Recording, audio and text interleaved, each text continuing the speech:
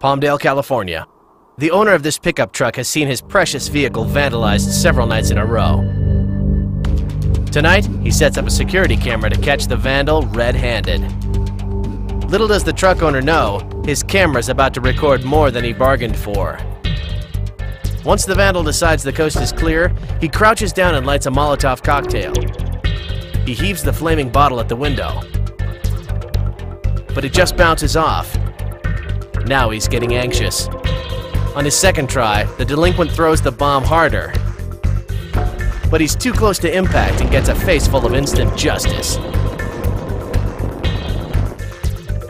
Now, not only is the vandal caught on tape, he's caught on fire. While the camera's footage did lead to a conviction, it still didn't prevent the owner's truck from being damaged. The only real way to protect your vehicle is to be on the scene.